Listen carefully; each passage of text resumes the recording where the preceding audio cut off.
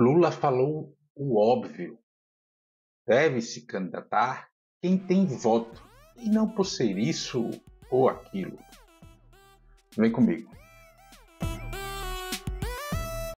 Antes de seguir, gostaria de pedir seu like nesse vídeo e sua inscrição nesse canal. Peço também, caso você possa queira, sua contribuição clicando no botão Valeu. Ao final do vídeo, deixe seu comentário. Concorde, discorde ou complemente.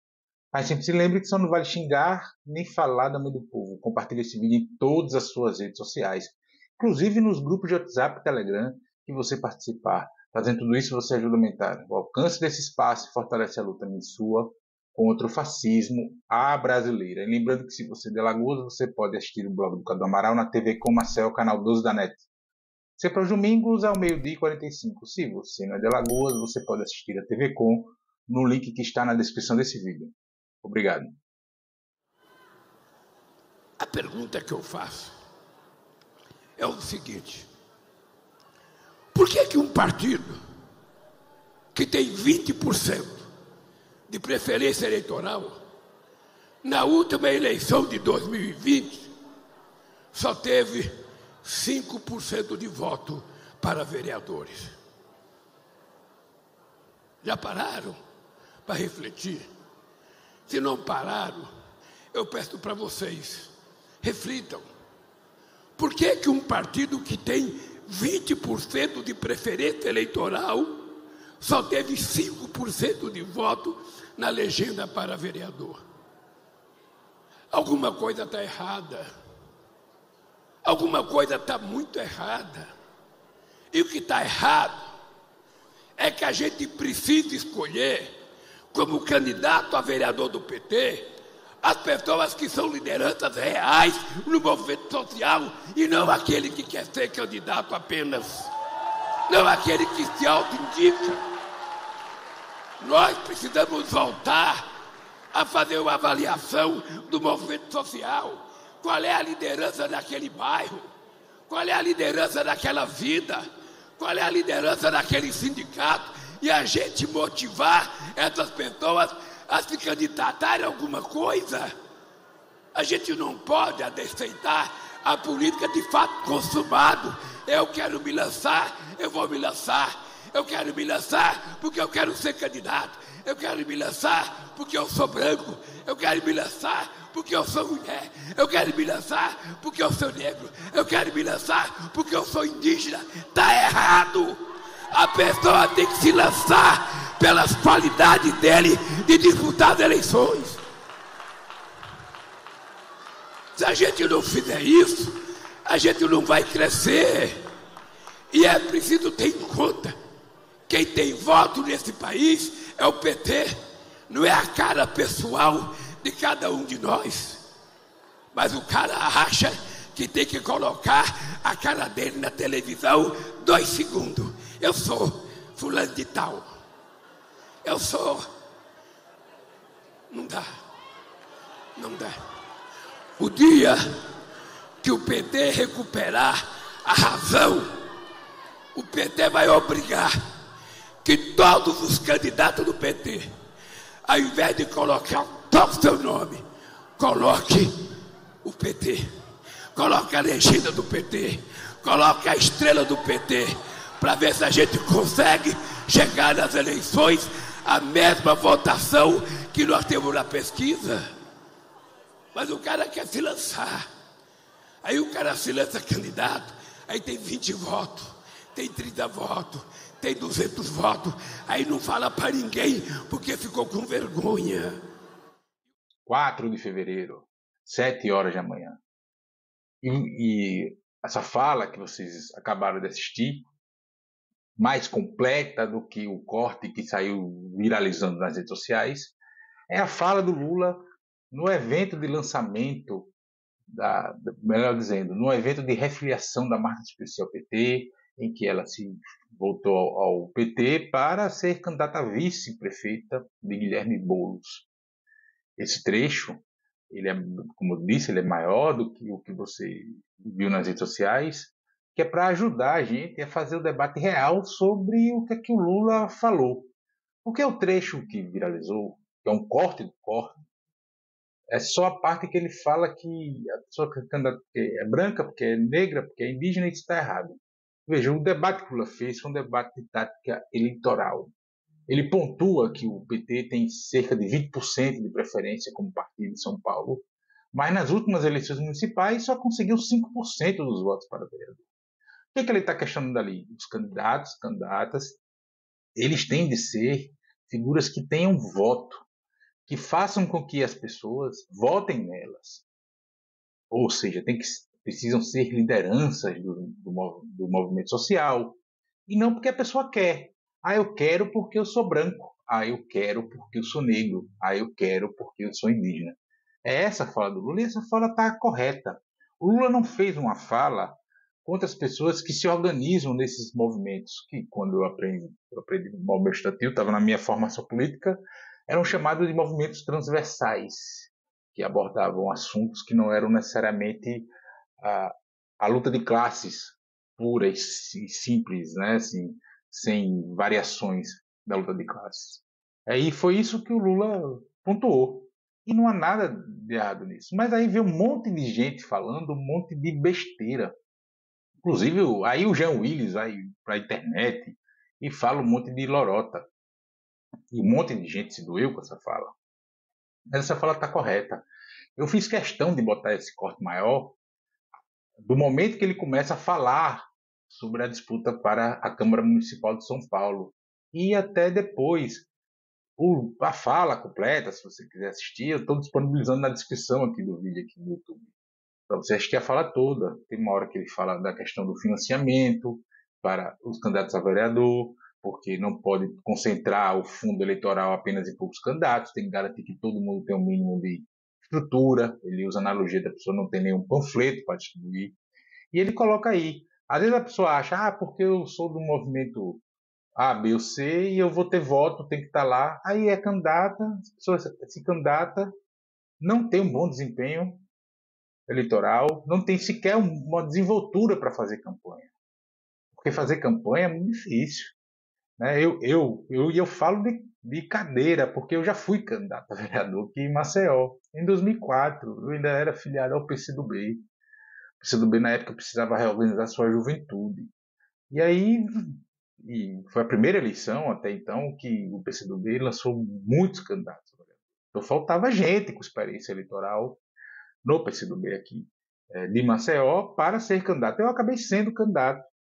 É, fiz campanha só na Universidade Federal de Alagoas, que era onde eu estudava, onde eu atuava no movimento estudantil, para tentar, inclusive, reorganizar a juventude do partido é, ali no, na Universidade Federal, porque as pessoas que já estavam lá já estavam saindo da universidade e não, não tinha havido renovação. E era muito difícil pedir voto, porque eu não tinha essa experiência para pedir voto. Acabou que foi o contrário, né? A experiência eleitoral me ajudou a ter mais desenvoltura para fazer movimento estudantil depois. Mas é isso que o Lula está colocando. É, você precisa ter, escolher candidaturas que de fato tenham capilaridade eleitoral mesmo aquelas que porventura ainda não tenham sido experimentadas nas urnas, mas figuras que notadamente, sendo candidatas, o seu entorno, sua área de atuação, as pessoas tendem a votar nelas. Candidatura a vereador, as proporcionais via de regra, mas a vereador é pior, são candidaturas muito difíceis. Primeiro porque tem muitos candidatos, o eleitor médio, que não acompanha os pormenores da política, que não acompanha os pormenores dos partidos, que só veem falas sobre eleição, etc., assim, pinçadas, reduzidas ao extremo, que, que tiram contexto, porque as, as legendas, as postagens sobre essa fala do Lula, que está o trecho do trecho, só fala assim que Lula é contra a candidatura de negros, de indígenas, essa coisa, e não foi isso que ele falou. Essa, esse eleitor médio, ele não sabe como escolher o seu candidato, é muito difícil para ele, porque tem muito. E é por isso que a influência de pastores, de, de prefeitos do interior, de patrão, de quem quer que seja, é muito grande na disputa por prefeito. Inclusive a influência do dinheiro. Porque tem tanta, vou escolher quem é tudo igual, é difícil de se diferenciar as candidaturas. E, e, ainda mais em São Paulo, né, que o guia eleitoral é praticamente cada dizer o nome e o número.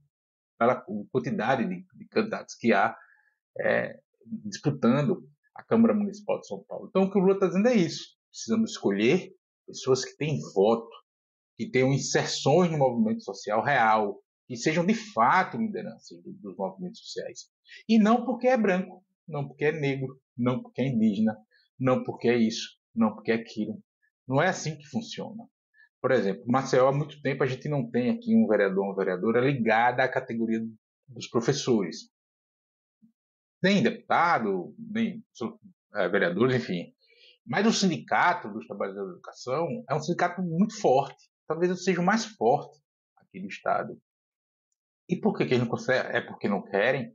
É porque é, é, só assim? Não é só assim. Há todo um contexto histórico, uma construção de liderança, mas devido à base ser muito grande, é difícil você conseguir fazer com que as pessoas votem só porque você é professor.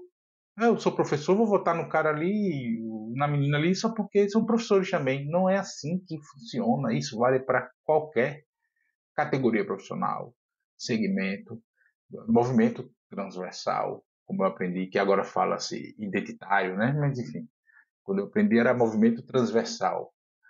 Não é assim que funciona. É preciso você ter de fato voto. Não é porque você quer. Às vezes você acha que você tem voto, porque você tem muito amigo, porque você tem muito seguidor em rede social e não tem nada a ver a, o fundilho com as calças. Não, não, não existe. É preciso que se escolha candidatos que tenham de fato voto, inserção social real, para além do que as pessoas acham que tem. E é, e é uma avaliação difícil de fazer, é evidente que erros vão ocorrer. E o pior é que dessas pessoas que querem porque querem ser candidatas, e quando e se não conseguem ter um bom resultado, um bom êxito, um bom desempenho, enfim, para além de eleger ou não, a culpa vai ser sempre do vento. Ah, porque era para ter me dado mais dinheiro, o partido precisa ter me dado mais recursos, ah, porque a B C não me apoiou, ah, porque a CDUE não fez o que era para fazer, sempre o vento. Mas na verdade a gente não, vezes a gente não quer admitir que a gente não tem voto. A gente pode ter voto amanhã, mas hoje a gente não tem voto. Foi essa fala que Lula fez e você pode concordar ou discordar com a fala do Lula no todo em parte. Está tudo certo. Só não pode é fazer uma, um juízo de valor por um trecho do trecho. Um trecho do trecho não dá porque você precisa ter o contexto da, do que ele está colocando. E aí isso vale para o Lula, isso vale para Bolsonaro, isso vale para qualquer um, inclusive para mim aqui. Se você assistiu o vídeo todo, você entendeu o contexto que eu estou dizendo. Você pode concordar ou discordar do que eu falei tranquilamente, não tem problema com relação a isso.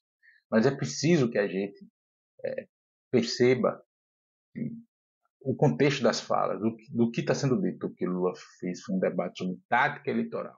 E ele está correto qualquer que seja o partido, se quiser crescer eleitoralmente, se quiser ocupar mais vagas nos parlamentos, que é importante os parlamentos, nós estamos sentindo isso no governo federal na relação com o Congresso, é preciso escolher lideranças reais do povo, pessoas que tenham voto, e não porque é, acham que representam A, B ou C, ou mesmo que representem determinado segmento, mas às vezes representam ali só para as ações daquele segmento específico na hora do voto para, assim, para a política institucional, os seus liderados no, no segmento não votam em você. E isso acontece. A gente precisa ter essa clareza na hora da escolha das candidaturas, os partidos precisam ter. Principalmente o PT, que é um partido que tem muita inserção em movimentos sociais. Se tem 20% de preferência e teve 5% dos votos para vereador, tem alguma coisa errada sim. É preciso rever isso, repensar. E parte desse repensamento, dessa revisão no método de escolhas é, é isso, é escolher candidaturas que de fato que não tem voto, é porque agrada A, B ou C, é porque é, a pessoa quer e está insistindo. É preciso ter cuidado com isso. Eu sugiro que você assista o discurso do Lula inteiro. Ele fala até de deputado empurrando candidatura a vereador, isso que, e que não constrói partido, que não constrói PN. Importante ver. Não julgue as coisas, não formule opinião sobre algo que você não viu todo, pelo trecho do trecho. Não julgue um áudio que você está mandando porque você ouviu as duas primeiras frases, ou um texto porque você só leu o primeiro parágrafo. Se permita, leia, veja, ouça, assista tudo. Mas é isso, o Lula acertou na fala dele, na tática eleitoral dele está correta. O candidato tem que ter voto, E não porque quer, ou porque é branco, ou porque é preto, ou porque é indígena, ou porque é gordo, ou porque é alto, ou porque é baixo, porque é careca, ou porque é cabeludo. Não é por isso que tem que ser candidato.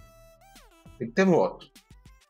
Porque só governa, só define os rumos do povo, das pessoas, da sociedade, quem tem voto.